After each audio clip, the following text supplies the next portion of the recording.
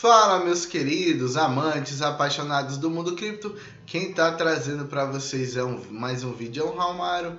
Tô trazendo o vídeo da Ada Cardano, galera. Esse ativo maravilhoso do mundo de criptomoedas, que para mim vai ser uma das melhores blockchains do planeta. Ganha muito a capitalização de mercado essa noite, passa a Ripple, tá? Já está em sexta colocação novamente, vem crescendo. Vou ler uma notícia sobre ela já já, pessoal. Veja que o valor de mercado dela está em 19 bilhões e 35 milhões de dólares, tá? O volume nas últimas 24 horas mesmo, com a queda de 24%, está em 760 milhões de dólares. Ela tem um supply de 33 bilhões de criptomoedas. Vou falar para vocês o seguinte: essa criptomoeda vai se tornar uma das maiores moedas do planeta se não tentar acompanhar Ethereum. Aí você vai me perguntar por que, Ramalho? As taxas dela são melhores, a usabilidade dela é melhor e as baleias estão caindo matando na rede Cardano. Vou ler uma notícia para vocês, mas antes de mais nada, aproveita, deixa seu like, é de graça, inscreva-se no canal, Compartilhe esse vídeo, seu like é muito importante para o crescimento do meu canal e lembre-se, não dou recomendação de compra nem de venda. Pessoal, ó, aumento aqui, ó, ADA Cardano aumenta a média que as baleias começam a acumular no mergulho. Veja bem, a ADA estava caindo e as baleias tão, estão acumulando, tá? O provedor de dados on-chain Sentiment chamou a atenção de seus seguidores para um aumento na quantidade de transações de baleias na blockchain da Cardano. Em um tweet recente, a equipe da analista do Sentiment compartilhou que nesta sexta-feira a ADA teve um salto de quase 6%, enquanto a quantidade de grandes transferências de baleia começou a aumentar na cadeia Cardano. Enquanto estava caindo, pessoal, a ADA tava, a galera estava comprando, tá? Recentemente, acredito que essas transações foram, acumular, foram baleias acumulando a moeda nativa de Cardano na queda, provocando um aumento do preço, até deu uma recuperaçãozinha maravilhosa mesmo a Cardano. O aumento de volume também foi brutal, tá? Foi 800 bilhões de dólares para conseguir passar mais um, um, um, trilhão de dólares, tá? É, um bilhão de dólares, perdão é muito dinheiro, tá? No início da semana, o YouTube informou que um marco foi lançado pela Cardano quando a quantidade de NFTs emitidas nesta blockchain ultrapassou 5 milhões simultaneamente e o preço da ADA subiu mais 12%, que foi aqui, tá? Fora isso, acabou a notícia. Vamos lá dar uma olhada no gráfico, vamos ver o que está acontecendo. Vou começar pelo semanal. Todos sabem que é o semanal que manda no ativo das criptomoedas, ele que dá continuidade da tendência. E eu vou deixar uma coisa bem explicadinha para vocês sobre isso, tá? Nós temos aqui um candle com pivô em um fundo, um candle com pavio, perdão, que tocou a média de 20 no gráfico semanal, tá?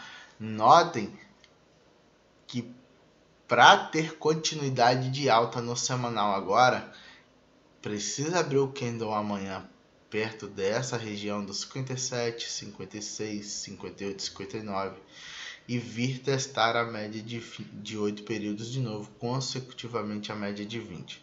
Lembrando que aqui a gente tem um fundo a ser batido nos 77 centavos, uma, um, uma resistência. O que, que não pode acontecer? Acontecer uma coisa chamada trap acontecer isso aqui, ó.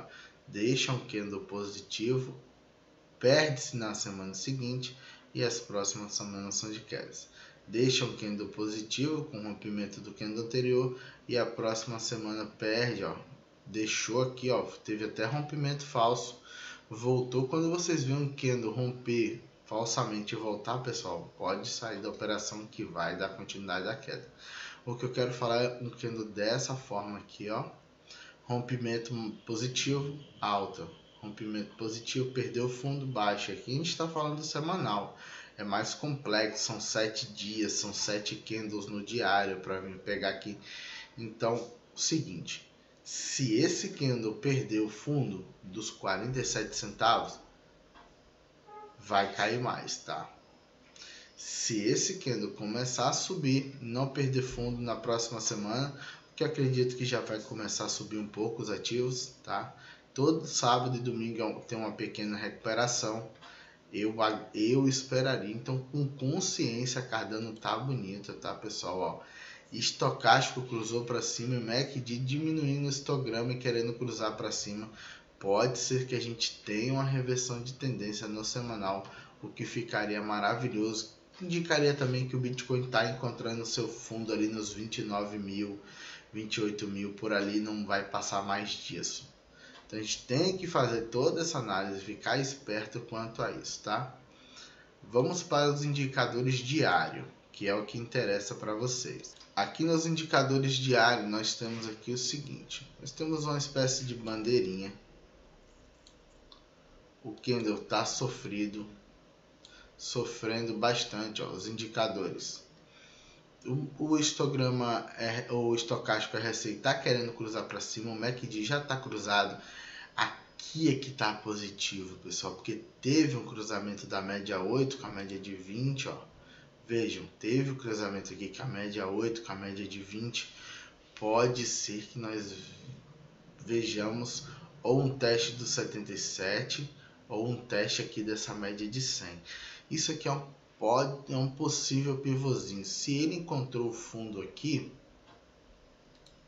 então nós temos um pivô de alta. Se ele configurar aqui uma subida, nós temos alvo de 100% de fibra lá no 85. Não acredito que vai passar direto. Provavelmente vai ficar no 78 de fibra entre o 61 que vai ser a média de 100 períodos, tá? Mas vejam bem, aqui teve um, uma espécie de fundo duplo no gráfico de 4 horas. Vou mostrar para vocês isso. Ó, teve uma espécie de fundo duplo aqui no gráfico de 4 horas e está tentando ficar acima das médias. Tem que trabalhar acima dos 61 centavos de dólar e 400.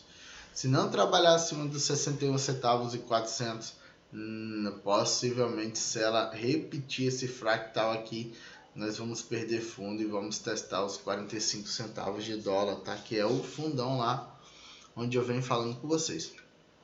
Algo positivo é que está trabalhando acima da média de 100 períodos.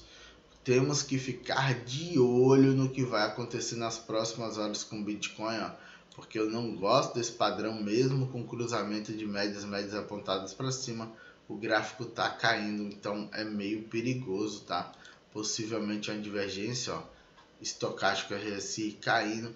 Então vamos ficar espertos nas próximas nos próximas cenas, nos próximos capítulos do Bitcoin, tá? Para ver o que vai acontecer. Normalmente a recuperação começa começa após o meio-dia, uma hora da tarde, ele dá aquela respirada, então vamos ver o que, que vai ocorrer, tá? Essa foi minha análise da ADA Cardano. Fiquem espertos, tá? Vamos ficar de olho, não pode perder esse fundinho aqui, nem as médias. Se começar a trabalhar abaixo dos 51 centavos, fica muito perigoso, quer dizer que ele vai procurar testar o fundo, tá? Essa foi minha análise. Quem gostou, deixa o like, aproveita, inscreva-se no canal, compartilhe esse vídeo. Seu like é muito importante para o crescimento do meu canal. E lembre-se, não dou recomendação de compra nem de venda. Fui, galerinha. Aquele abraço para vocês.